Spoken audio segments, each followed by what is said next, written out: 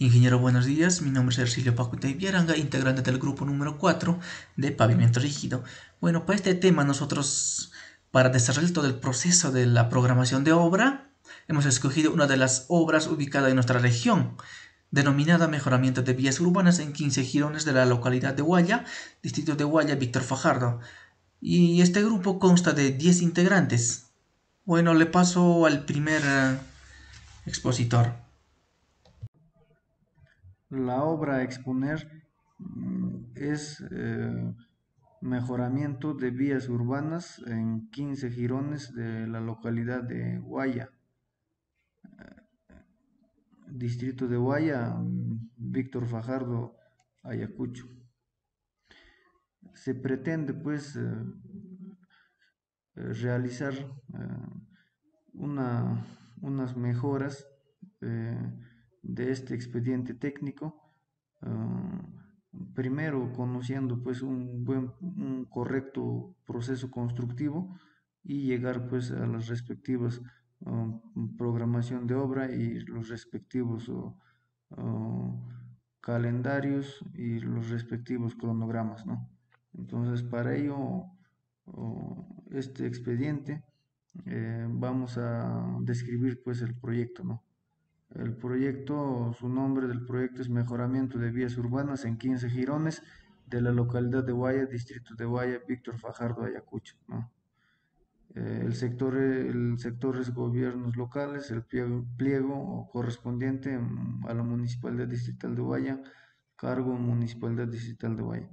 La ubicación, como podemos ver, la ubicación provincial, Víctor Fajardo, y la ubicación distrital, también podemos apreciar una ubicación del proyecto ya con una captura de una imagen satelital. Bueno, la modalidad de ejecución de la obra es por contrata. El sistema de contratación es a precios unitarios. El plazo de ejecución es 210 días, calendarios 7 meses. El fuente de financiamiento a través del Ministerio de Vivienda, Construcción y Saneamiento a través del programa Mejoramiento Integral de Barrios. El monto de inversión 5.792.134. Las partidas. Las partidas que vamos que se tienen en este proyecto son las obras provisionales, seguridad y salud en obra, pavimento rígido, pavimento rígido con como estructura, ¿no? Eh, la, la subbase, la subrasante, eh, y, el, y, el, concreto hidráulico, ¿no?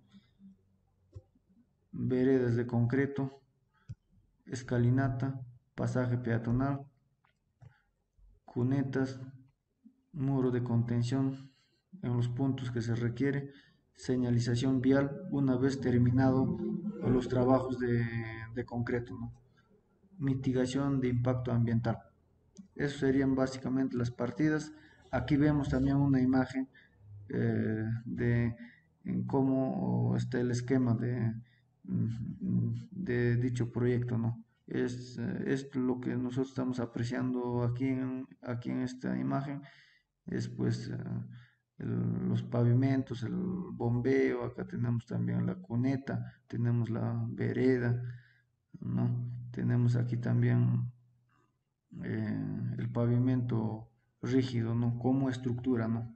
Que comprende pues el concreto hidráulico, la subbase, la subrasante, ¿no? El terreno de fundación, ¿no?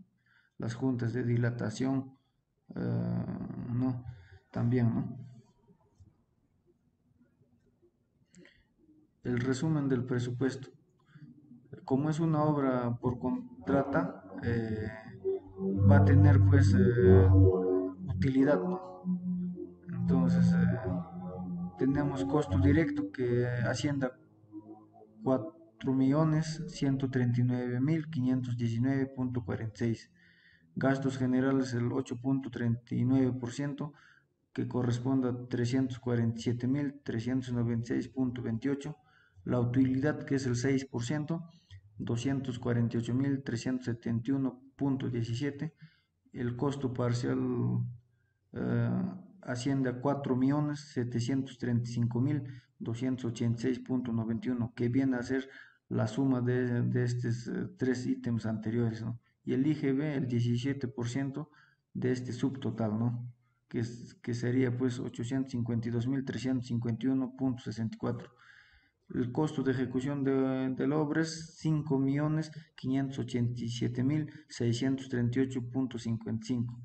El costo de supervisión, el que corresponde a 3.66% del costo de ejecución de la obra, 204.495.45.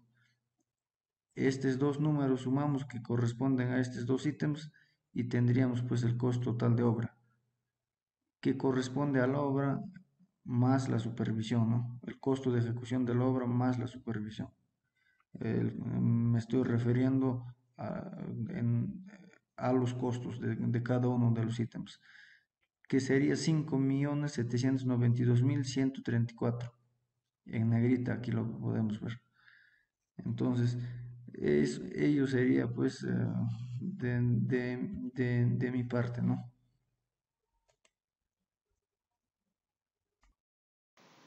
Bueno, continuando con la exposición de Scandia Román José Luis, en este caso me tocó exponerles sobre lo que es proceso constructivo del, este, del pavimento, el pavimento rígido. Tenemos, primeramente lo que es obrales, lo que es, lo que es cártel de obra.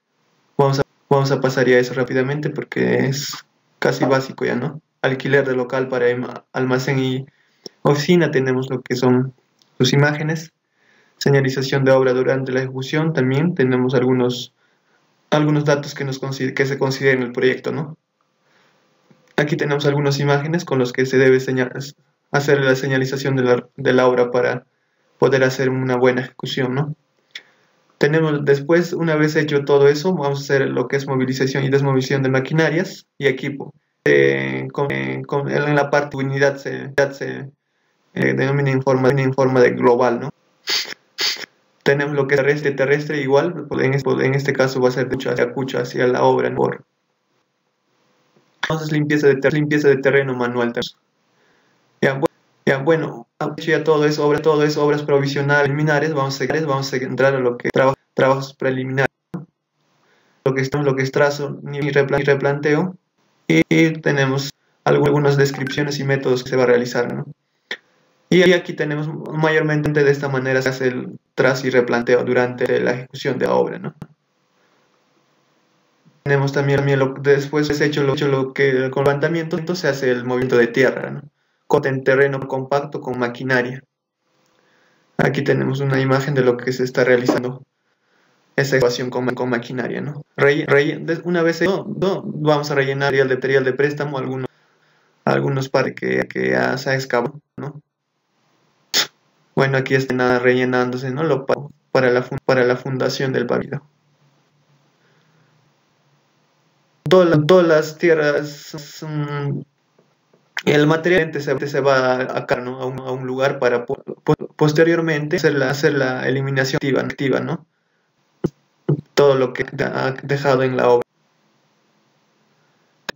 Una, vez hecho ya vamos a hacer lo que es lo que es compactación, formación de base, ¿no? Sabemos, sabemos que el pavimento está conformado por lo por lo que es el subrasante, la base, ¿no? En este, ¿no? En este proyecto hemos encontrado, ese, encontrado esa incoherencia de que de, le he considerado su base, ¿no? Y cosa que está mal, hemos corregido. Tenemos lo que es pacto de terreno, pacto de terreno y fundación.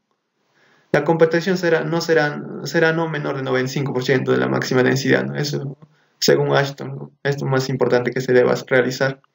También tenemos lo que es perfilado de la subrasante, una vez ya hecho todo eso, ¿no? Mejoramiento de subrasante, ¿no? Consiste en sustituir el terreno natural por material de préstamo. Todo esto, lo que, lo que es base, ¿no? después de subrasante es la base, la base, para poder. Una vez, una vez ya hecho todo la, la subrasante y el base, a lo que es con de concreto, ¿no? Por ejemplo, por ejemplo, tenemos obra de desencofrado de elementos.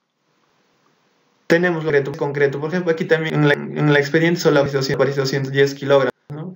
Mi mínimo para pavimento rígido es de 200 por, por centímetro cuadrado. Bueno, así tenemos lo que, lo que es juntas asfálticas de dilatación y pavimento. No tienen, no tienen un espesor de un, un, pulgada, pulgada, eso es de acuerdo, de acuerdo al reglamento. Y también, y también una vez eso hacer, antes de lo que esté, aquí también, aquí también hay una incoherencia porque después, porque después de curado ya se hace la, es la junta, también vamos a encontrar ese error, ese error. De igual manera, en igual manera en veres de concreto, los pasos, los pasos son similares, ¿no? De lo que es para pavimento rígido. Todo lo que replantea, excavación manual de tierra. En este caso, como es vereda, va a ser excavación manual ya, ¿no? Ya no va a ser con maquinaria.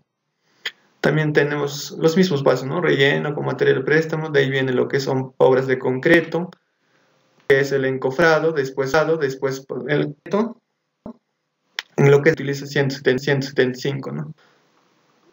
Y de igual, de, igual manera, ¿no? Concreto, concreto en martillos, concreto, para martillos también tenemos, ¿no? Obras de concreto en rampas, de igual manera, el proceso constructivo es, similar al que es pavimento rígido. El más que nada, el pavimento rígido es lo principal. ¿no? Estas son obras complementarias para realizar esa obra. Por ejemplo, lo realiza el gruñado y también tenemos lo que es escalinata. ¿no?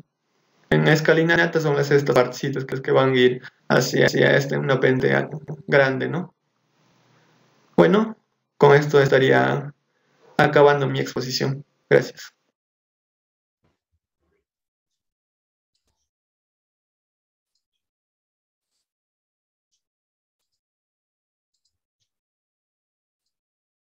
Ingeniero, buen día. En esta ocasión voy a explicar el informe de compatibilidad del expediente mejoramiento de vías urbanas en 15 girones de la localidad de Guaya, del distrito de Guaya en el departamento de Ayacucho. Como antecedentes tenemos la descripción del proyecto, nombre del proyecto, resolución del expediente técnico, modalidad de ejecución, monto del expediente técnico, fecha de inicio, tiempo de ejecución, estado de la obra, supervisor de la obra, residente de la obra. Como aspectos más importantes del expediente técnico, tenemos que se ha entregado una lista de planos del expediente, los cuales incluyen planos generales, planos de arquitectura y planos de detalles. También tenemos el cuadro, el cuadro de resumen de metas, donde nos indica cada partida, la unidad y el metado correspondiente de cada una de las partidas. También podemos observar el cuadro de resumen del presupuesto, el costo del presupuesto, donde está desglosado cada partida con su metado y el costo, donde se obtiene un costo un costo, un costo directo de 4.139.519.46 nuevos soles. Y a esto le aumentamos el IEGB de 18%, el costo de ejecución del 3,66% y la supervisión, y donde alcanzamos el monto total de 5 millones de 792 mil 134 nuevos soles. Como puntos importantes se ha observado, se ha hecho algunas observaciones al expediente técnico. Como punto uno tenemos que el replanteo que se ha hecho no coincide, las coordenadas no coinciden con las coordenadas UTM que está en el plano, ya que cuando se ha medido en campo hay un desfase aproximadamente de dos metros. También podemos observar que en algunas calles la sección no, no es la suficiente, ya que en el plano nos especifica medidas de seis metros y en, en, en, las secciones solamente contamos con cuatro metros de sección, por lo cual es una incompatibilidad. Y como punto tres podemos observar que los buzones de desagüe están solamente a un metro de profundidad, tanto como las instalaciones también de agua y desagüe están solamente a 50, de 50 a 60 centímetros debajo del nivel del terreno natural. Y esto nos va a afectar ya que al realizar el corte del terreno se va a tener que hacer una nueva instalación más profunda para que no se vea afectada tanto como el agua como la instalación de desagüe. También podemos observar como punto 4 que hay algunas viviendas que están en, en precarias condiciones que, al, a que se verían afectados ¿no? al paso de las maquinarias pesadas, tanto como el retroexcavador y el rodillo compactador. También podemos observar que hay postes de luz que están instalados casi al medio de las calles, eso tendría que retirarse, ¿no? porque nos va a afectar en la ejecución de nuestro. También hay una, hay una plantilla de, de metados, pero no se especifica, ¿no? ¿no? No está bien detallado, o sea, falta algunos metados. También podemos tener una, unas conclusiones. Hemos llegado a las siguientes conclusiones. Que el expediente técnico es incompatible con el terreno, ya que las incompatibilidades que, que existen son muy, muy notorias, muy visibles y se tendría que hacer un nuevo, un nuevo estudio. También se recomienda al contratista hacer un mejor estudio de campo. También recomendamos hacer el uso de juntas doubles, ya que no se ha incluido en el expediente técnico.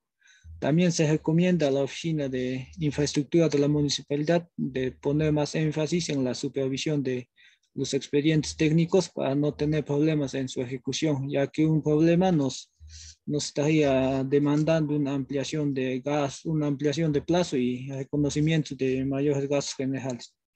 Muchas gracias, ingenieros, eso es todo.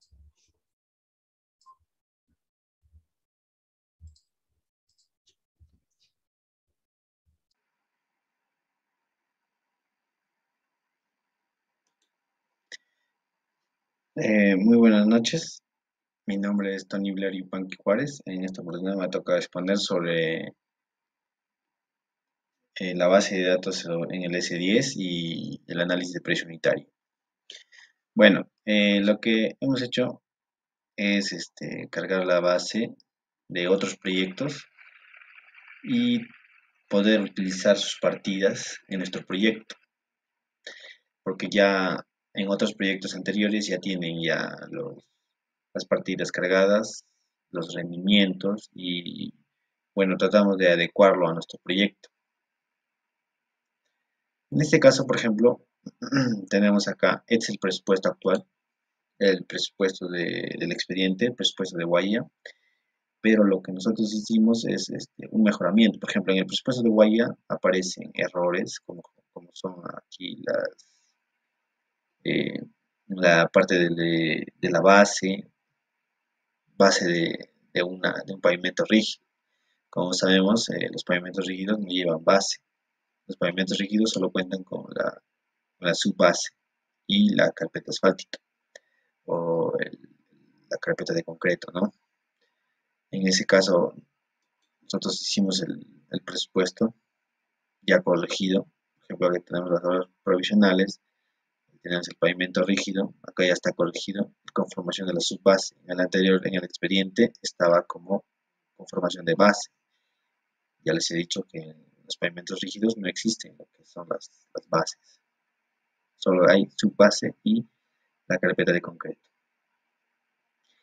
Y podemos analizar una de las partidas, por ejemplo. Podemos analizar las partidas de obras de concreto. Aquí tenemos eh, una partida de concreto FC210 de espesor de 20 centímetros. Por ejemplo, tenemos acá eh, lo que son los la mano de obra. Por ejemplo, en este caso el, el rendimiento para el concreto es de 105 metros cuadrados y el metro cuadrado tiene un costo aproximado de 86.26 soles. Ese es para un metro cuadrado. También tenemos lo que son la mano de obra, como son el operario, oficial y el, peón. necesitamos dos peones, dos oficiales y seis peones para hacer, hacer lo que es el 105 metros cuadrados por día. Ya, eh, también tenemos que son los, materiales, por ejemplo, tenemos la arena gruesa, la piedra zarandeada, eh, también tenemos el cemento. Y acá con sus respectivas unidades, sus respectivas cantidades. En los materiales no hay cuadrilla. los únicos casos que hay cuadrilla es en la mano de obra y en lo que son los equipos y herramientas. Por ejemplo, para preparar el concreto necesitamos aquí una vibradora de concreto y lo que es una mezclada de concreto, el famoso trompito, ¿no? Y así la cantidad por el precio unitario es lo que nos va a dar el parcial. Y la suma de estos parciales es lo que nos da el precio por metro cuadrado. Este precio de 86.26 es por metro cuadrado de concreto. Ya. Y ese sería todo con respecto a lo que es la base, base de datos y el análisis de precio unitario. Así se va a analizar para cada partida. Gracias.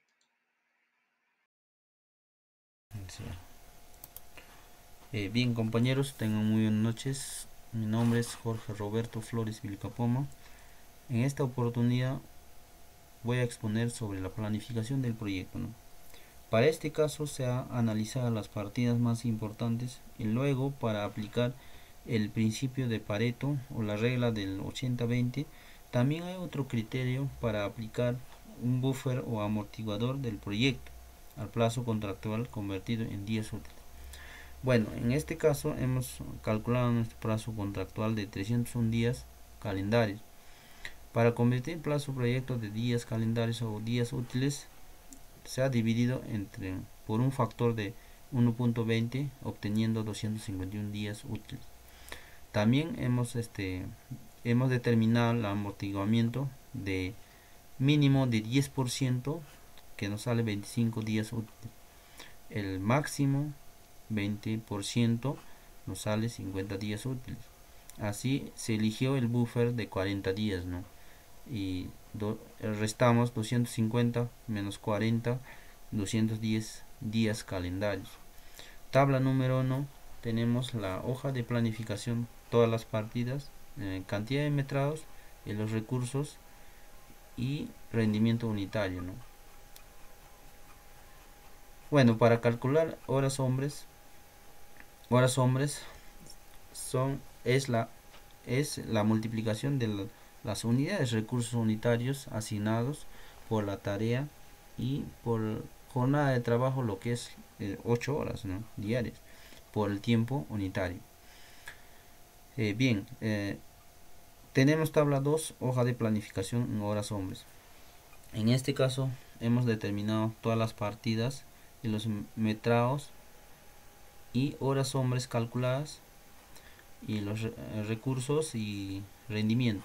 En este caso, horas hombres calculados es el resultado de cantidad de metrados entre rendimiento unitario por recursos por 8 horas diarias trabajadas.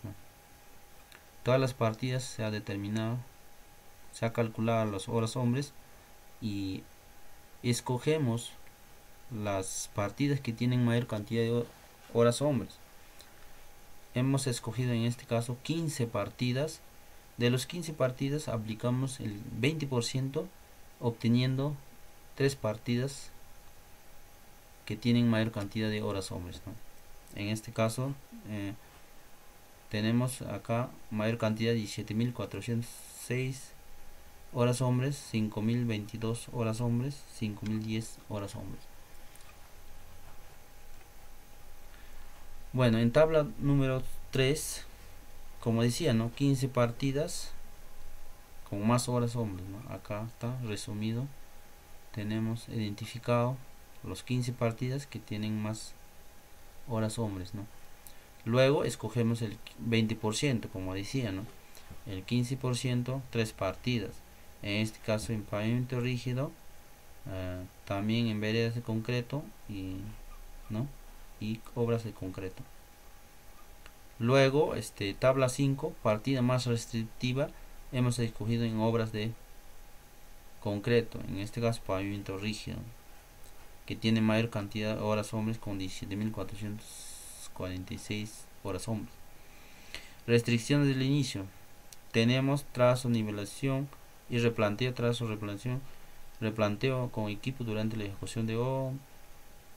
Corte en terreno compacto con maquinaria, relleno con material perfilado y compactado de terreno de fundación, mejoramiento de subrasante, conformación de compactación subgranular con maquinaria, encofrado de Ahora, del vaciado, el tarea más restrictiva es concreto vaciado de concreto 280 kilogramos por centímetro cuadrado en pavimento. Ahora, luego de realizar lo que es vaciado, este, las restricciones de término es junta de asfáltica de dilatación de pavimentos, curado de concreto, pavimentos, pintado de líneas continuas, pintado de pavimentos. ¿no? Eh, por lo tanto, este, la cantidad por ejecutar es 6.814.89 metros cuadrados. ¿no? Bueno, acá número de cuadrilla. Determinando, determinamos el número de cuadrilla en 182 días uh, con cuatro mezcladoras podemos realizar es 46 días por mezcladora ¿no? por lo tanto se pueden armar cuatro cuadrillas ¿no? el número de frentes este en base al número de frentes este son criterios que pueda que se puede aplicar en este caso ¿no? Mm, por ejemplo este mm, armar menor cantidad de cuadrilla se puede incrementar más horas de trabajo o otra otro otro criterio sería este contratar una planta concretera son criterios que se puede aplicar en este caso no bueno eh, determinación de las duraciones de las más tareas eh, tenemos eh, hemos determinado la la programación de las demás actividades. En este caso este la cantidad de metrados entre rendimiento nos sale 38.84 en este caso limpieza de terreno manual. Ahora este es factor de cuadrilla no tiempo de programación. Es todas las también se ha realizado el cálculo todas las partidas no todas las partidas. Ahora tiempo de duración de las partidas acá está en forma resumida no todas las partidas se ha resumido tiempo de duración. Bueno por mi parte es todo. Muchas gracias. Paso al siguiente compañero que va a exponerlo ingeniero buenas noches. Voy a continuar con la exposición. Soy el alumno Alex Alfredo González Peña. Bien, antes de realizar la, programación en el, en, el, en el, software MS Project, antes de ello debemos este, determinar el tiempo de duración de todas las actividades o todas las tareas del, del, del proyecto. Bien, para ello, como ya anteriormente mi compañero ha expuesto en la planificación, se había calculado que la tarea más restrictiva era el llenado de concreto del pavimento rígido el cual tiene un tiempo unitario de 182 días. Para ello, luego, para ejecutar en el plazo que se ha determinado de 210 días, se determinó que se va a usar cuatro cuadrillas. Y el tiempo de duración de la partida más crítica con cuatro cuadrillas sería de 46 días. Entonces, luego se procede a corregir, a, añadir cuadrillas a todas las partidas que superen los 46 días en, en, su tiempo unitario o en el tiempo de programación para que de esa manera todas las partidas sean menores en días a la partida más restrictiva. Con ello ya se procede a la programación. En esta parte inclusive nosotros lo hemos realizado manualmente usando el Excel pero más detallado ya finalizado se ha realizado en el, en el programa en el MS en el MS Project, que ya es netamente su especialización para hacer programación de obras.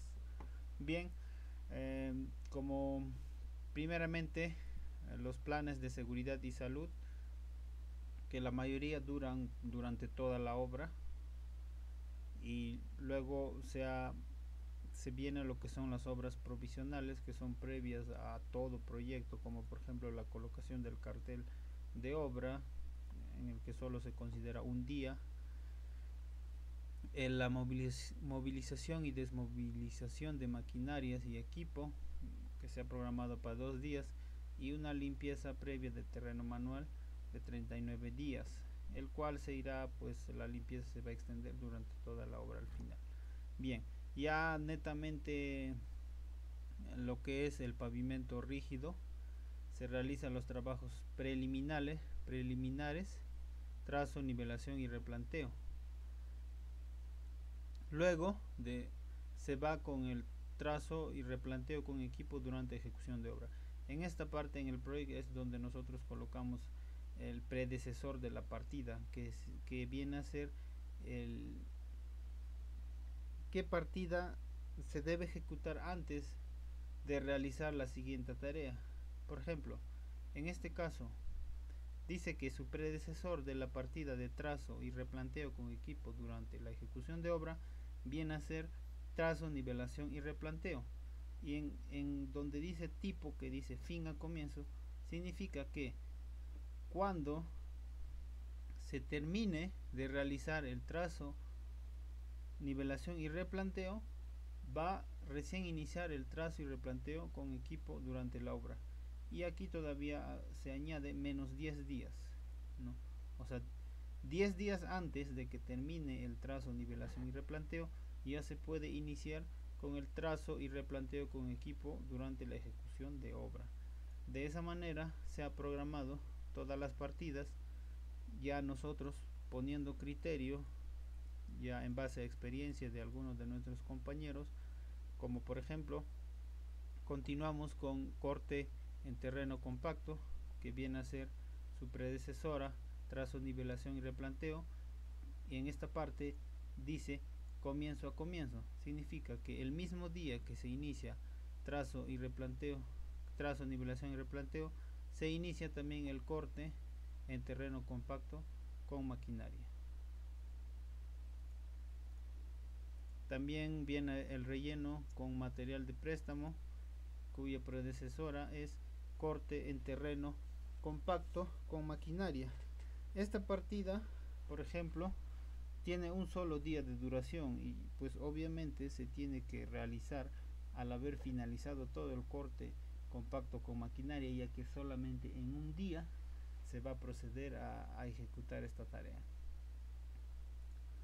luego el acarreo y la eliminación de material excedente que obviamente se debe extender hasta hasta llevar el, el último eh, material excedente generado por las partidas anteriores. Luego viene el perfilado compactado de terreno de fundación cuya predecesora es relleno con material de préstamo que dice que es de tipo fin a comienzo significa que cuando termine en su totalidad la partida de relleno con material de préstamo recién se va a empezar a ejecutar el perfilado y compactación de terreno de fundación. Luego viene la partida mejoramiento de subrasante donde podemos ver que está definido como comienzo comienzo con perfilado y compactación de terreno de fundación. Significa que el mismo día del se inicia el perfilado y compactación también se iniciará el mejoramiento de la subrasante luego viene conformación y compactación de su base granular con maquinaria cuya predecesora es el mejoramiento de la subrasante en este caso sí necesariamente debemos ejecutar al 100% la partida de mejoramiento de subrasante para proceder con esta partida. Luego viene el encofrado y desencofrado de pavimento que tiene una duración de 50 días que tiene una predecesora que viene a ser la conformación y compactación de su base de fin a comienzo significa que se debe terminar al 100% la conformación y compactación para recién iniciar con esta partida. Luego viene el, el llenado de concreto, que vamos a ver su predecesora, en la que dice comienzo comienzo con la partida encofrado y desencofrado.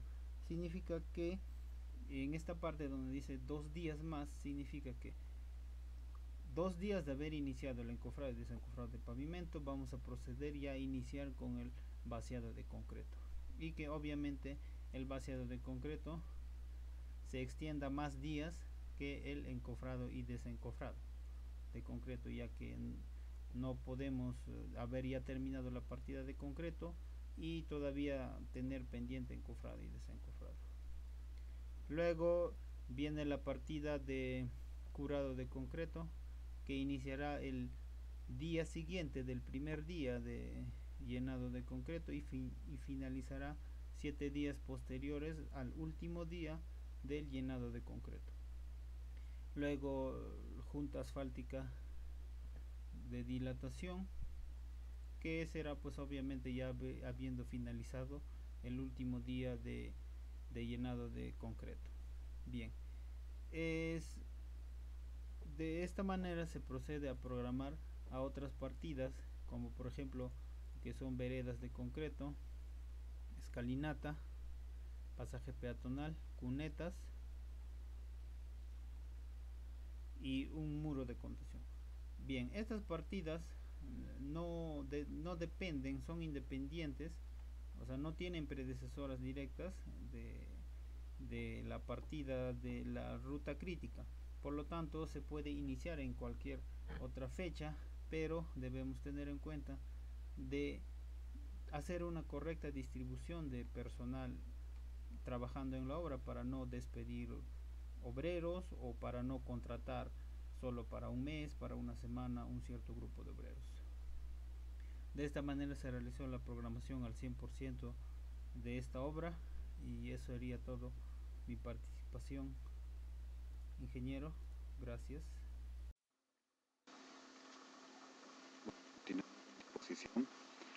Eh, bueno, una vez mm, obtenido el presupuesto, la planificación y la programación, vamos a revisar los cronogramas, ¿ya?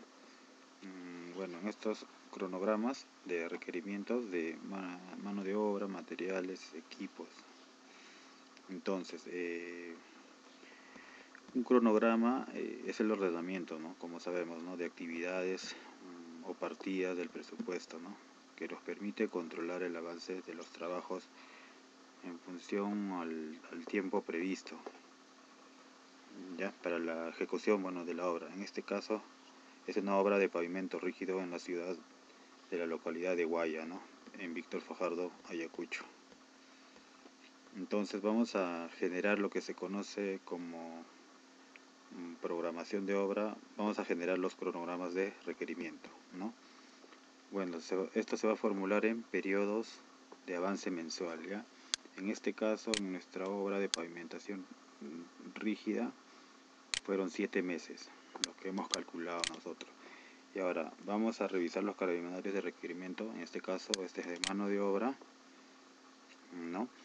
donde podemos observar aquí al topógrafo, al operario, al oficial y al peón.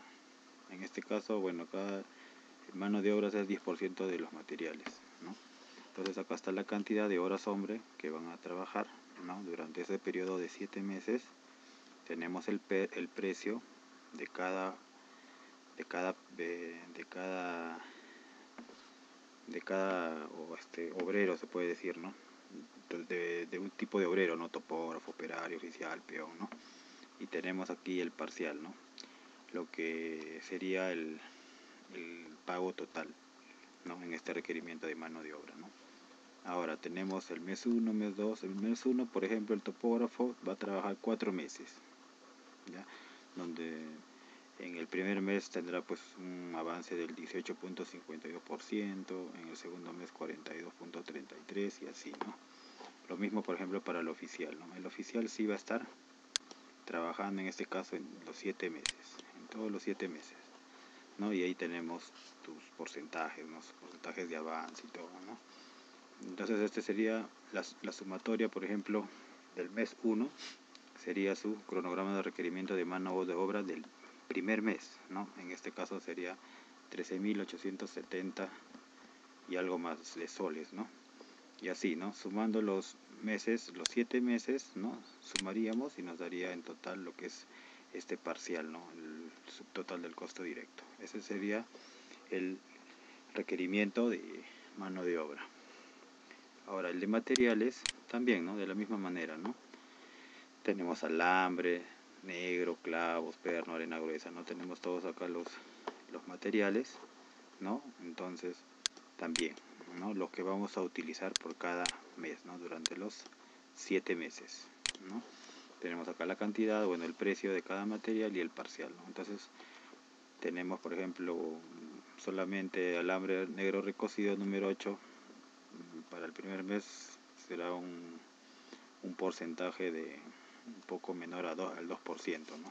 225.51 soles.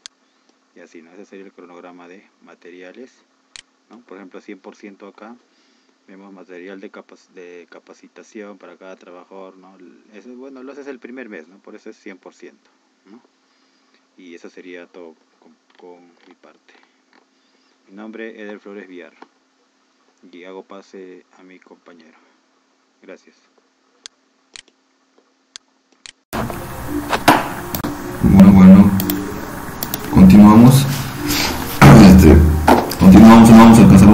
Sobre el cronograma valorizado. Acá tenemos nuestro cronograma valorizado con cada mes detallado sobre nuestro proyecto, el, mejoramiento de urbana de 15 girones de la localidad de Guaya, distrito de Guaya, Víctor Fajardo, Ayacucho. Bueno, el objetivo del cronograma valorizado es optimizar los costos con la valorización de las partidas. El cronograma valorizado nos refleja en monto la duración de cada partida a través de la concatenación de las partidas según el criterio del profesional que elabora la programación de la obra. es el criterio la experiencia es lo más importante para la elaboración de, la programación de obra, cronograma. Vamos a pasar a detallar este, en nuestro diagrama Gantt acerca de cómo obtenemos nuestro cronograma. Acá en el diagrama en tareas le vamos a dar a uso de tareas. En la columna trabajo, anticlic, insertamos insertar columna y escribimos costo fijo. Costo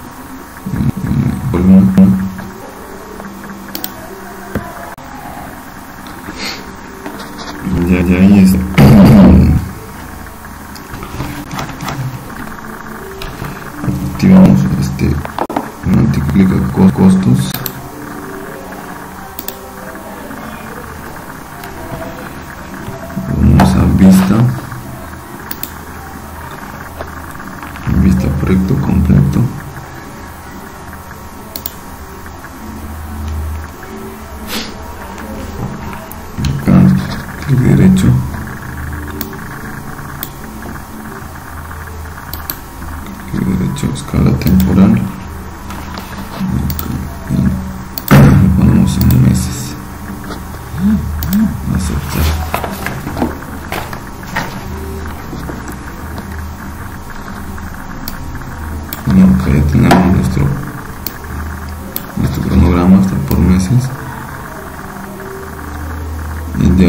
copiamos y lo jalamos lo pasamos a nuestro cronograma valorizado ya este acá lo ajustamos con de acuerdo al criterio de experiencia lo ajustamos en porcentaje en concordancia con las partidas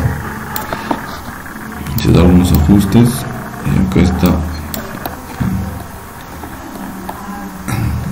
resumen están todas las partidas el resumen de todo con nuestro cronograma valorizado eso sería todo muchas gracias